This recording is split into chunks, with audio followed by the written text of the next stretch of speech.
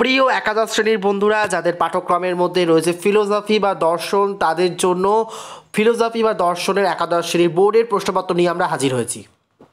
দেখে নাও মূল প্রশ্নপত্রটি। গ্রুপ এ দর্শন হলো জ্ঞান সম্পর্কিত বিজ্ঞান ও তার সমালোচনা। কথা বলেছেন কে? উত্তর হবে হচ্ছে কান্ট।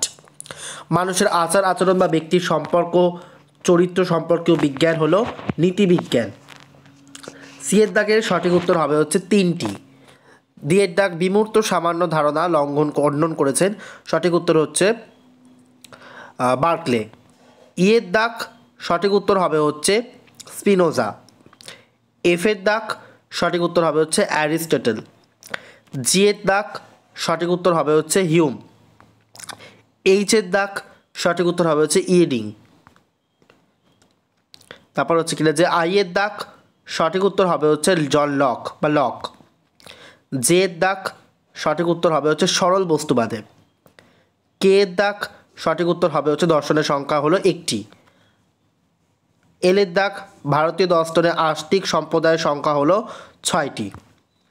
এমের দাগ ন্যায় দর্শনের ভাষ্যকার হলেন মহর্ষি ভাষ্যান্যায় ভাষ্যায়ন ভূত চতুর্থবাদও মেনেছেন। সঠিক উত্তর হবে হচ্ছে চার ভাগ দার্শনিকরা।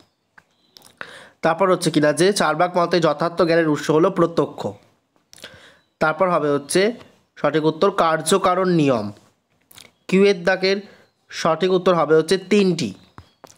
আরের দাগ দুঃখের কারণ আছে, এই প্রশ্নের সঠিক উত্তর হবে হচ্ছে বৌদ্ধ দার্শনিকরা। এসের দাগ বৌদ্ধ দর্শন অনুযায়ী নির্মাণ বলতে বোঝায় সুখকে বোঝায় সুখকে বোঝায়। টিয়ের দাগ সঠিক উত্তর হবে হচ্ছে পাঁচটি। ইউয়ের দাগ ন্যায় মতে অনুমিতি হলো একটি প্রমা।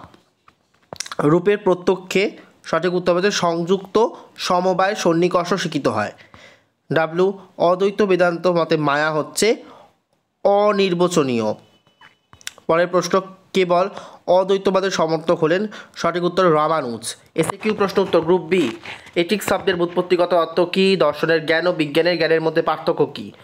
লাইবনিজ প্রদত্ত মনাট এর কয়েকটি বৈশিষ্ট্য উল্লেখ করো। অধিবিদ্যা কোন কোন বিষয় নিয়ে আলোচনা করে? স্পিনোজা কয়েকটি দ্রব্য স্বীকার করেছেন। ডেকার কয়েকটি দ্রব্য স্বীকার করেছেন। গুণের অতিরিক্ত কোনো দ্রব্যের মুদ্রণ আমাদের হয় না, কার উক্তি? স্পিনোজা প্রদত্ত দ্রব্যের সমীকরণটি উল্লেখ করো। অ্যারিস্টটলকে অনুসরণ করে দ্রব্য শব্দের অর্থ লেখো। কর্মবাদ শব্দের অর্থ কী? ভারতীয় দর্শনের নাস্তিক সম্প্রদায়গুলি কী কী?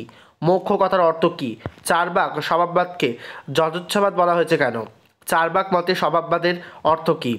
দেহত্ববাদ কী? যোগাচার দর্শনকে বিজ্ঞানবাদ বলা হয় কেন? বৌদ্ধ মতে পঞ্চস্কন্দ কী কী? প্রতীত্ব সমতপাদবাদ বলতে কি বোঝায়? দুটি বৌদ্ধ বস্তুবাদী সম্প্রদায়ের নাম লেখো। অদ্বৈতবাদ বলতে কি বোঝো? শঙ্করাচার্য কয় প্রকার সত্তা স্বীকার করেছেন? পাঁচ নম্বরের প্রশ্ন আট নম্বরের প্রশ্ন যে পাঁচটি আসে দেখে নাও স্ক্রিনেতে প্রথম প্রশ্ন এসছে, জ্ঞানের উৎস এবং স্বরূপ বিষয়ে ডেকার্টের বক্তব্য, সমালোচনা সহ ব্যাখ্যা করো। সাজেশনে অলরেডি ছিল এই প্রশ্নটি। অথবাতে জানা ক্রিয়াপদে কী কী অর্থে ব্যবহৃত হয়, বাচনিক জ্ঞানের শর্তগুলি আলোচনা করো।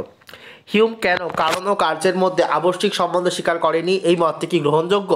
অথবা এসছে কারণের স্বরূপ বলতে কি বোঝো? কার্যকারণ বিষয়ে দার্শনিক মতবাদ আলোচনা করো। সিয়ে তাক ভাববাদ কাকে বলে?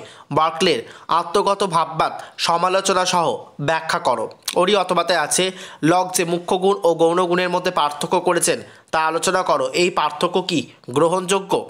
দিয়ের দাগ ব্যাপ্তি কাকে বলে? ব্যাপ্তিগ্রহ কীভাবে জানা যায়? তা আলোচনা করো। ওরই অথবাতে রয়েছে অনুমিতি কাকে বলে? অনুমিতির ক্ষেত্রে পক্ষ, সাধ্য, হেতুর ভূমিকা উল্লেখ করো। ইয়ের দাগ রবীন্দ্রনাথের মানবতাবাদী দর্শনের মূল উৎসগুলি উল্লেখ করে এবং বিশ্লেষণ করো। অথবা বিবেকানন্দের কর্মযোগের ধারণার ভিত্তি হলো প্রয়োগমূলক বেদান্ত ব্যাখ্যা করো। ভিডিও ভালো লাগলে তুই অবশ্যই লাইক করো। ধন্যবাদ।